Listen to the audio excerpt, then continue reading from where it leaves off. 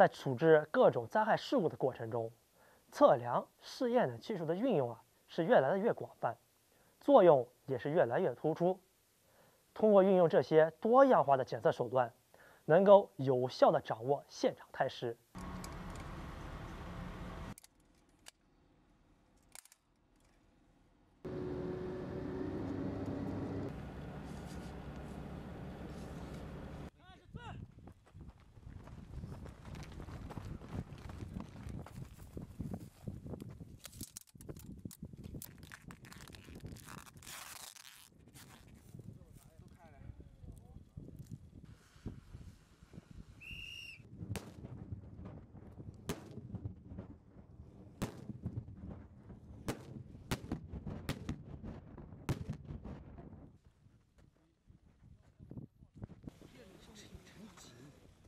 这以为要开。